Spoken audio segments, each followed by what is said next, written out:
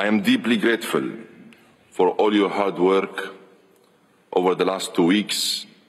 Le monde approuve un appel historique à une transition hors des énergies fossiles. Après une nuit de prolongation, les pays du monde entier ont approuvé à la COP28 de Dubaï un compromis qualifié d'historique pour son appel inédit à abandonner progressivement les énergies fossiles, principales responsables du réchauffement climatique. Le texte issu de douloureuses négociations a été adopté par consensus, aucune voix ne s'élevant parmi les quelques 200 nations représentées en séance plénière avant le coup de maillet entérinant son adoption. Une décision historique pour accélérer l'action climatique, a déclaré Sultan Al-Jaber, président émirati de la conférence de l'ONU. J'espère que l'esprit de partenariat, d'inclusion et de paix qui vous a accueilli ici aux Émirats arabes unis vous accompagnera toujours pour le bien de toute l'humanité. Je vous remercie. Je vous remercie pour cette réalisation historique.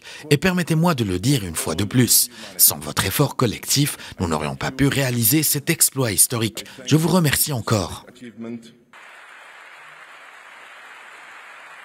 Sultan Al-Jaber vertué depuis plus de 24 heures à sauver une COP qu'il avait annoncée comme un tournant à même de préserver l'objectif le plus ambitieux de l'accord de Paris adopté il y a 8 ans, celui de limiter l'élévation de la température mondiale à 1,5 degré Celsius. Le texte dont chaque mot été négocié par les Émiratis appelle à transitionner hors des énergies fossiles dans les systèmes énergétiques d'une manière juste, ordonnée et équitable en accélérant l'action dans cette décennie cruciale afin d'atteindre la neutralité carbone en 2050. Beaucoup ont dit que cela n'était pas possible. Cela dit, au tout début de cette COP, j'avais promis une COP différente, une COP qui rassemblerait tout le monde, secteur privé et public, société civile, ONG, chefs religieux, les jeunes et les peuples autochtones.